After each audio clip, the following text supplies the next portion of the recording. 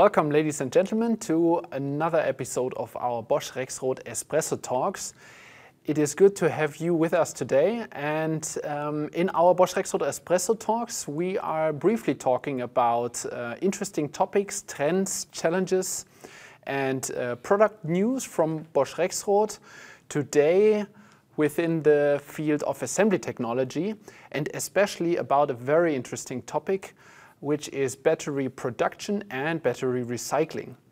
Uh, in order to discuss this, I am not alone here today. I have some support. Sebastian is with me. Sebastian, uh, may I ask you to introduce yourself? Hi, Max. Thank you for having me today here. I'm coming from the Bosch Rexroth System Engineering Department.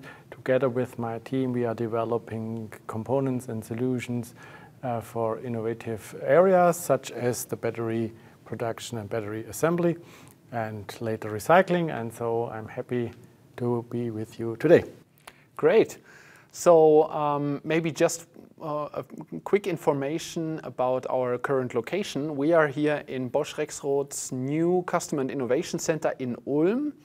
And in case you are interested in visiting this location and, for example, our model factory down in the basement, uh, just feel free to contact the Bosch Rexroth contact person you know, and we will be glad to host you here. So now, let's start right away. Means for you, get an espresso and we can start. Maybe it's good to start with the basics, uh, talking about battery production. Um, just tell our audience today uh, what are the challenges and how does the whole value chain within battery manufacturing look like? Yeah, if you look here at this picture, you can see the different process steps coming from roll forming, cell production, module and pack assembly, um, and until the end of life testing of a completed pack. We have along this process several solutions. Uh, it's quite important to integrate the material flow and intralogistics and having all backed up with an uh, information layer. Uh, the challenging is here, uh, we need um, highly automated uh, um, solutions and that's what we are working on.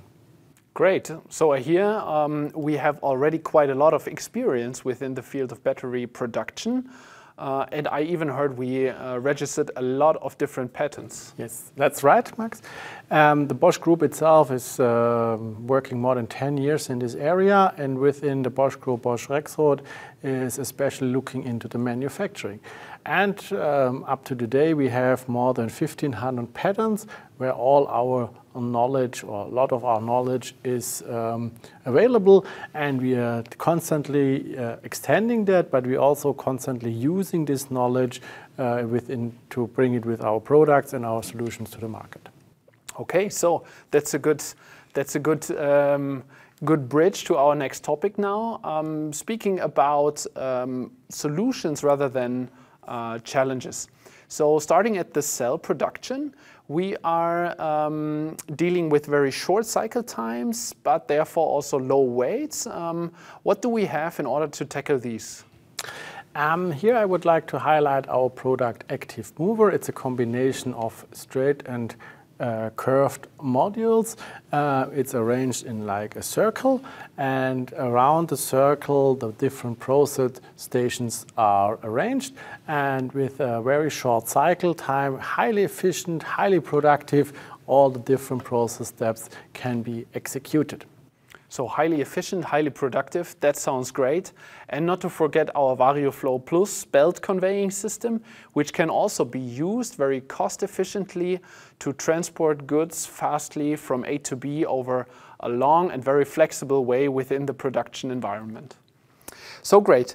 Um, now let's continue within the uh, process of battery manufacturing and we are now going to have a look on the uh, module um, manufacturing or even the pack manufacturing where the weights are getting a little bit higher. Uh, what do we do in there? Here we have two uh, other products uh, in the portfolio. It's a TS2 and a TS5.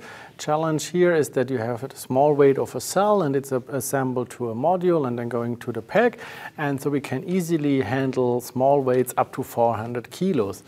Um, uh, both systems are modular and worldwide available, so they can be easily extended if the needs changes. Uh, another important thing here is uh, the clean rooms. Uh, we work in clean rooms, and the TS5 uh, can handle clean rooms up to class 8. So we are uh, very good prepared to tackle the challenges in the battery manufacturing. But now, if I have a look at uh, nowadays battery pack, for example, below an SUV, this is really a large battery pack uh, with weights up to one ton or even more. Uh, if you say TS5 ends up at maybe 400 kilograms or maybe a little bit more, but what to do with one ton? Yeah, we anticipated this uh, already, looking into heavy SUVs, also light commercial vehicles. Um, we are now in the position to offer the TS7 to the market, where we can handle um, big packs uh, with uh, a weight more than one ton. And here we have the same uh, advantages as with the TS2 and the TS5, modularity, worldwide availability, uh, and also coping with the requirements regarding safety uh, and process stability we see in such a process, in such production steps. So customers who are already familiar with our TS2, TS5 systems, um, they will experience the same modularity, flexibility, and of course robustness quality of our TS7. Mm -hmm. uh, so thank you very much. Um, now I heard there are even more special requirements within such an environment, such the, the battery manufacturing environment. Um, dry room, for example. Can we, can we deal with that or is our product portfolio, portfolio at the end with this? As uh, initially said, we are looking at the different process steps, and one of them is also the cell, cell manufacturing as a very important step. And within our component portfolio, especially in the linear technology, we have a wide variety of, of components like linear axles, actuators, um, and things like that. They are able to cope with that, so they are dry room, dry room ready. Yes. Great. So offering consistency over the whole portfolio there, that's definitely uh, a very good good thing to have. Um, now, finally, we need something to bring the whole line up to life and to make everything work. So let's say the brain of a line, an automation platform which can handle all the challenges in modern manufacturing environments. ctrlX automation, two steps ahead, that's what we say. Um, how would you describe uh, such an innovative approach as we do it with ctrlX automation? With the ctrlX automation platform, we are overcoming the boundaries between machine control, IT, IoT. Uh, it's a, um, a, solution based on a, a real-time um, operating system based on Linux, uh, open standards, uh, uh it's programmed with apps, uh, it's a web-based engineering approach, um, and it's completely connected. And with that, the uh, engineering and component efforts is reduced by 30 to 50% depending on the application. This gives a real big advantage benefit for everybody in the, in the line building, in the machine building of the manufacturing solutions for uh, especially battery. Okay, so speaking about um, lower integration efforts, um, a lot of our customers are not only interested in certain components, but especially in solutions or at least partly integrated solutions.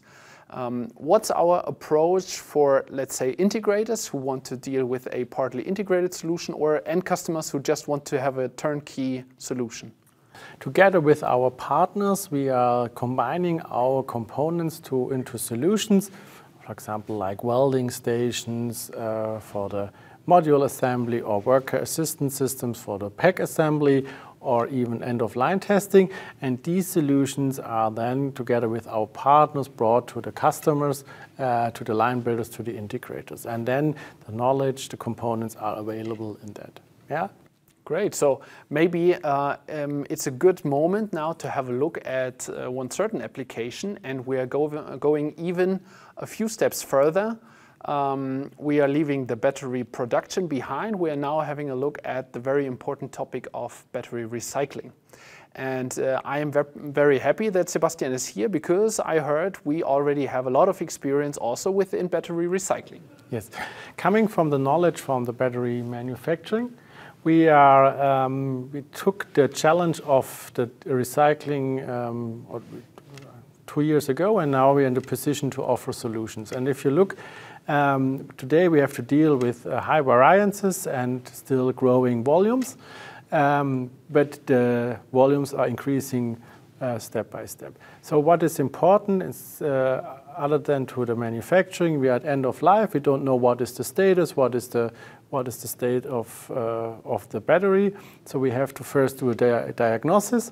Um, then in our system, a digital twin is generated, who then uh, already uh, is foreseeing the way through the further process once we have analyzed it, uh, it's quite important to automate steps where we can automate easily. One of them is taking, untightening the lid.